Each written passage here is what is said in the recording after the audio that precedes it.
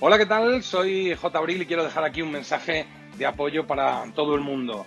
Para todos, ¿eh? a los valientes que están fuera y a los valientes que se están quedando en casa. Eh, la situación es complicada, estamos ante un entorno hostil, un entorno nuevo y sobre todo un entorno incierto. Pero yo tengo una máxima y es que la vida es de los que van por delante. Hay una frase de Kennedy que tiene que ver con la crisis que dice algo así como en una crisis toma conciencia del peligro pero también reconoce la oportunidad.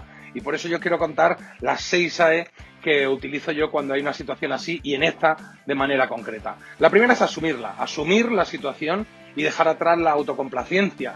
Es difícil porque es real la situación que está ocurriendo, pero se puede hacer. Agradecer, agradecer a los que están en primera línea luchando por nosotros.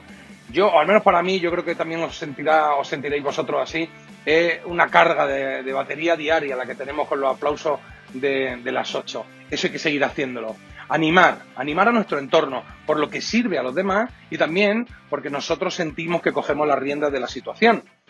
La cuarta A, abstraerse de la saturación de información. Esta es importantísima. Yo creo que un par de veces al día es suficiente para saber en qué punto estamos, ¿no? Un poquito de radio, un poquito de prensa, algo de tele y dejar WhatsApp y las videollamadas para las emociones, las bromas y las alegrías, para lo positivo adelantarse, adelantarse a lo que viene o a lo que venga, porque lo cierto es que no lo sabemos. No deje a tu cerebro relajarse, eso es importantísimo. Quita ruido y reinvéntate si es necesario. Y por último, una que me encanta que es aprovecha el tiempo. Hay que aprovechar el tiempo.